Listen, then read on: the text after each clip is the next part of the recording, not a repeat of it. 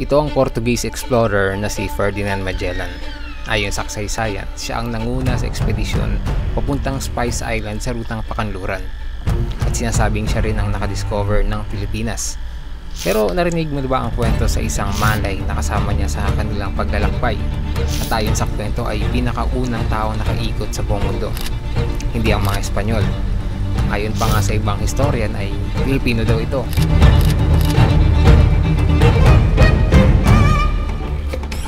Ito ang istorya ni Enrique de Malaca.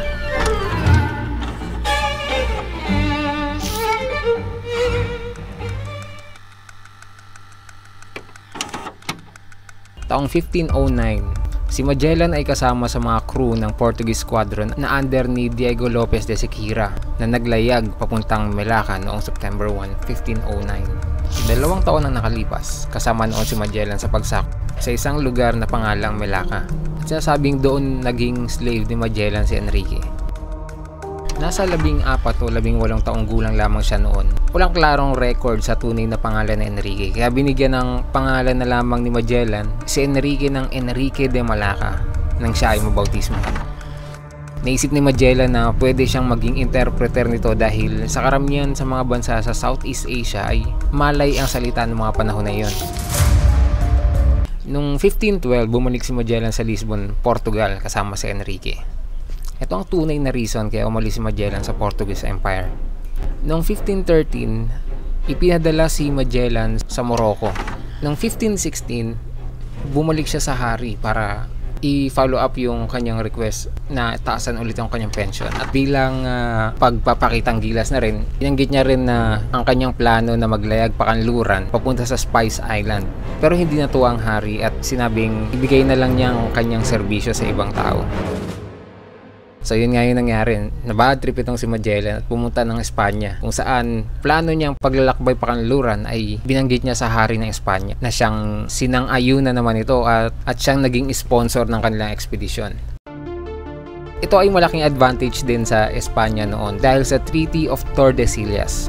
Base sa treaty, ang uh, west side ng mapang ito ay ang lugar kung saan pwede lamang i-explore ng mga Espanyol at sa east side naman ng guhit na ito ay kasalukuyang hawak na ng mga Portugis.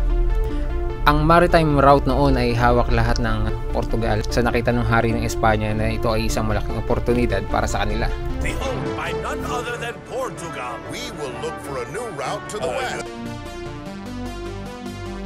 Dito na papasok ang bida ng ating istorya na si Enrique.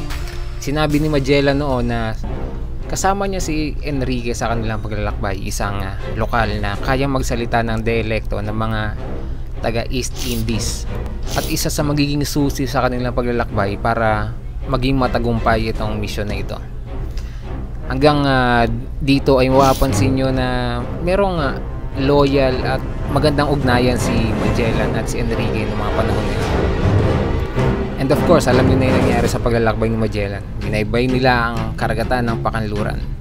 Nilakbay nila ang Atlantic Ocean papuntang Rio de Janeiro sa Brazil at sinundan ng daan papuntang south sa Chile sa kasagsagan ng winter. Hindi kalaunan ay hahanap sila ng daanan na tinawag nilang Magellan Strait papuntang Pacific Ocean. Laking gulat nila nang mayroon palang napakalaking karagatan sa kanluran. Hindi kalaunan ay napadpad sila sa Guam, saan syempre pinatay nila ang mga native at sinunog ang mga kabahayan. Saka sila naglakbay papuntang Samar. Dito na naging malaking papel ni Enrique sa expedition na ito. Siya ang naging translator ng mga Spanish para makapag-usap sa mga raha noon. Labis na ikinagulat din ni Magellan na nakapag-usap sila ang dialektong Malay. Isa itong senyalis na malapit na sila sa Spice Island Noong March 16, 1521, nakita nila ang isla ng Samar at nagpahinga sa Homonhon Island kung saan natili sila ng isang linggo at nakilala nila ang mga lokal na suluan kung saan sa pamamagitan ni Enrique ay napag-alaman nila ang mga katabing isla at mga nakatira dito. Noong April 7, 1521, nagkita si Raha Humabon at Magellan sa Cebu at naging magandang relasyon nila. Kinonvert nga ni nila Magellan ang native dito para maging Christian at tinanim ang Magellan's Cross sa pinakamataas na burol sa lugar. Nagsagawa rin sila ng blood compact bilang tanda ng kanilang pag-aalyansa sa isa't isa.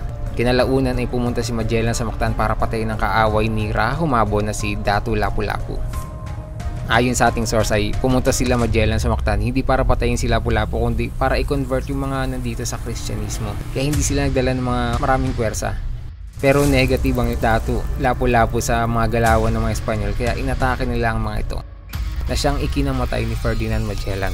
Ito yung controversial part ng kwento ni Enrique. Bago umalis sila Magellan sa Espanya ay gumawa ito ng last will and testament na nagsasabing na kung sakaling siya ay mamatay ay pinapalaya na niya si Enrique sa pagiging isang alipin at magmamana pa ito ng 10,000 Maldives bilang tulong pinansyal. Masabi nating hindi lang isang alipin ang tingin niya dito kundi isang kaibigan. Nang mamatay si Magellan, labis na nalungkot si Enrique.